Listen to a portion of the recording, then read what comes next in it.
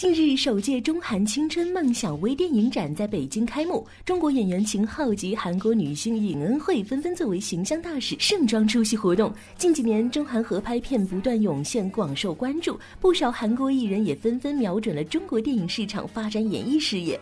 对此，鲜少来华的尹恩惠当天也表示，不排除进军中国影坛，坦言十分钟情于国产文艺片，并透露期待有机会与许鞍华合作。哦，먼저제가허하나감독님 영화 심플라이프를 제가 중국에서 봤어요 중국 극장에서 봤는데 저한테는 처음 또 어, 중국 극장에서 본 영화이기 때문에 또 인상 깊고요. 아무래도 자막이 나오는 영화가 그러니까 한국 자막이 안 나오잖아요. 그래서 다 전부 다를 알아 들을 수는 없었지만 굉장히 유명한 감독님과 또 배우분들이라는 생각이 들었던 게 음, 너무 표현도 잘 해주셨고 또 그 감정이 언어가 통하진 않아도 다 전달이 되는 거예요. 그래서 너무 좋으신 분들이구나 생각을 해서 어, 하나 감독님도 같이 한 번쯤은 해보고 싶다는 생각이 들었고 그리고 제가 또 중국 영화 중에 최근에 봤던 것 중에 북경 자전거라는 또 영화를 또 너무 재밌게 봤어요.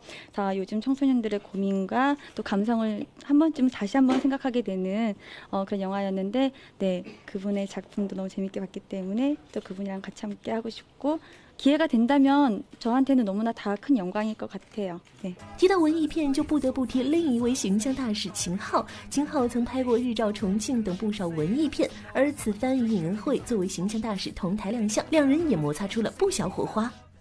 呃，你好，这有。你好。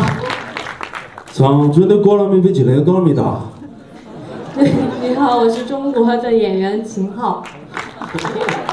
秦昊。